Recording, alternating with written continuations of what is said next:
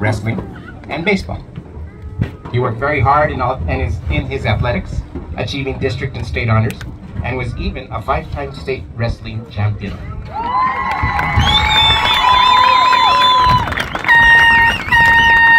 I don't know where he found the extra time, but he was also involved in several organizations such as Key Club and Student Council, and even participated in community service projects throughout his high school career.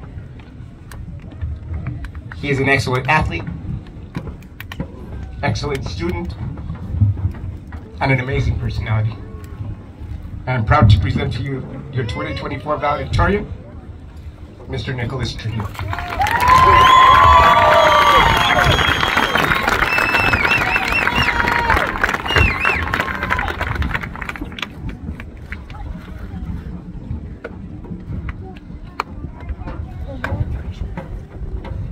So all they do is like they go up there and get something.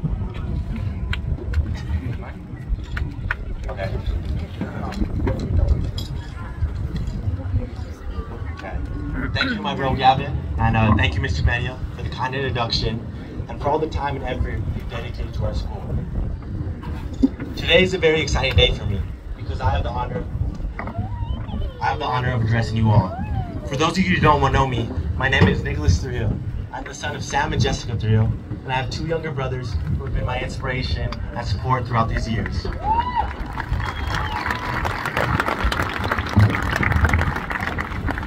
I know how everyone dreads long speeches, so I'll try to keep this short and sweet. I want all past graduates to take a moment and remember their graduation day. I'll help jog your memory. Maybe you're a grandma that was part of the groovy bell bottom 70s. Or 80s grandpa with those classic rock, ballad, rock ballads. We can't forget about the 1990 moms with poofed hair that was cemented in place with Aquanet.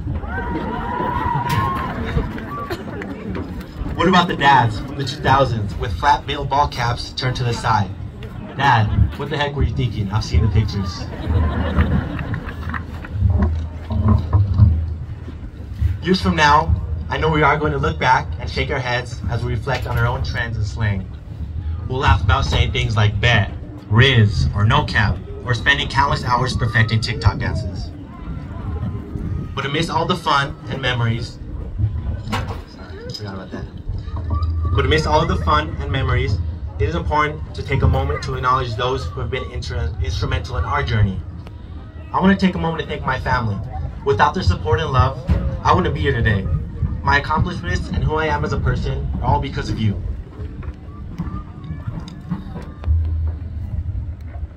Thank you, mom and dad. Love you guys. Thank you all the teachers who have helped us along the way. Just know that we appreciate all of you. I want to give a special shout out to Dr. Ludicky. He took me under his wing during my sophomore year. Thank you, Doc, for your guidance and wisdom. A heartfelt thank you to our coaches. You have given us your time and taught us that hard work always wins. The lessons have been invaluable. I want to thank God for the blessing of this life. Let us always remember to keep God in our lives, to praise Him, give thanks, because without God by our side, because with God by our side, we can overcome any obstacle.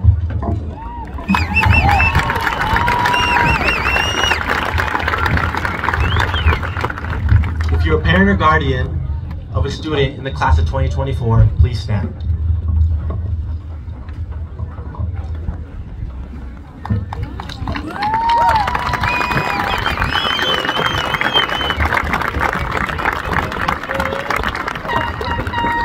On behalf of my entire class, I want to say thank you for your love and support throughout these four years.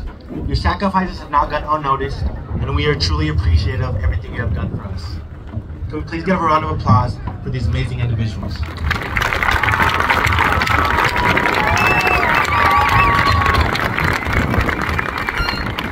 thank you guys. You guys can stay. Next, I want to congratulate all the graduates of the class of 2024 for their hard work and dedication in pushing through to this moment. Please, let's have a big round of applause for the class of 2024 at Holy Action.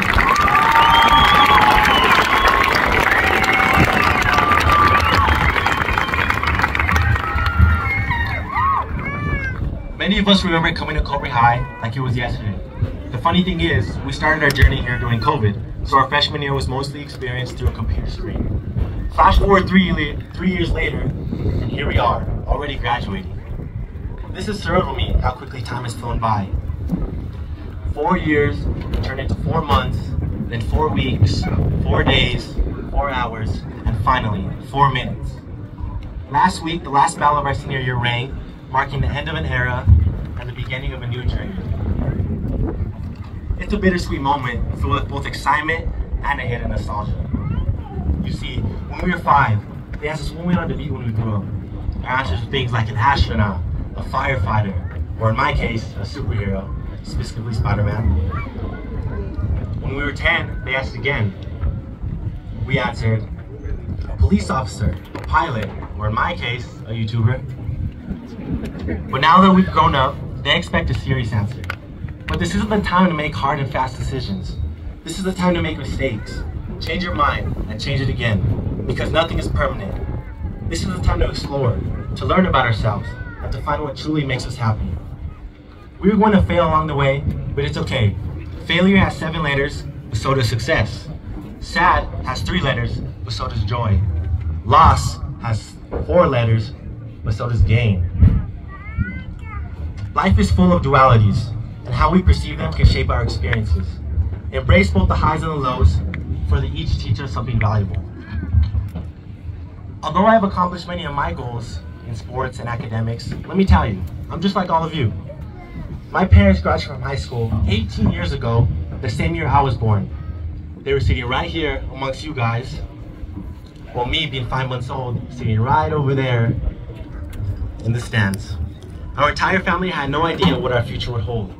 As we grew up together, I always tried to make them proud because I knew the struggles and sacrifices they endured throughout my youth. For anyone who feels like the odds are against you, anything is possible. You too could beat the statistics, just like my family did. Life can get hard if you take risks, but the biggest risk is never taking any risk at all. Think about Mark Zuckerberg, who left Harvard to chase his dreams with Facebook, or consider J.K. Rowling, who faced countless rejections before her first Harry Potter book was published. Both of them made choices to take a leap of faith and chase their dreams. If you are not willing to risk the unusual, you have to settle for the ordinary. I came across a quote that deeply resonated with me, spoken by one of my favorite college wrestlers this year, Bo Bartlett. Bo, a national finalist who faced defeat in the finals, shared these insightful words. Successful people are risk takers. They understand the journey and use their goal as a guide instead of a destination. The journey is controlled and the destination is uncertain. Embrace the journey, accept any destination. I am not done taking risks. I had to read this quote several times for me to truly grasp its essence. Bo Bartlett's words encourage us to shift our focus away from stressing on our end goals and instead, and instead to embrace it. Yeah, and instead to embrace every twist and turn along life's path. Reminds us that life's beauty lies not just in reaching our destination, but in the challenges we overcome and the lessons we learn along the way. It's about living a fulfilling life, one enriched by the journeys, experiences, and our responses to them, ultimately shaping us into better individuals. It is essential not to compare our journey to others. All of us will choose a path, and there is no wrong answer to the path we choose. As I look out, I see future educators, miners, janitors, nurses, doctors, lawyers, police officers, those that choose law enforcement. Remember, I called it today at graduation, so if you, so give me a break when you catch me speeding on 180. Each of us has our own unique path, our own timing, our own and our own destination. So let's cherish every moment, savor every experience, and embrace the beauty of life. Because if we don't actively engage with it, life will simply pass us by. As the saying goes, never compare your life to anyone else's. There is no comparison between the sun and the moon. They both shine when it's their time. I started this speech by thanking my parents, and I want to end it the same way. By expressing my deepest gratitude. Mom, Dad, your support, your sacrifices, and love have been the foundation of everything I am today. You've believed in me when I doubted myself, encouraged me when I faced challenges, and celebrated with me in my successes. Words cannot express how grateful I am for your presence in my life. Thank you for being my rock, my guiding light, and my greatest source of inspiration. In closing, let us remember to always cherish the love and support of our families. to embrace the journey of life with open hearts and minds, and to never forget the power of faith and gratitude. Congratulations, class of 2024. Our journey has been remarkable, and the best is yet to come. Thank you, and may God bless you all abundantly.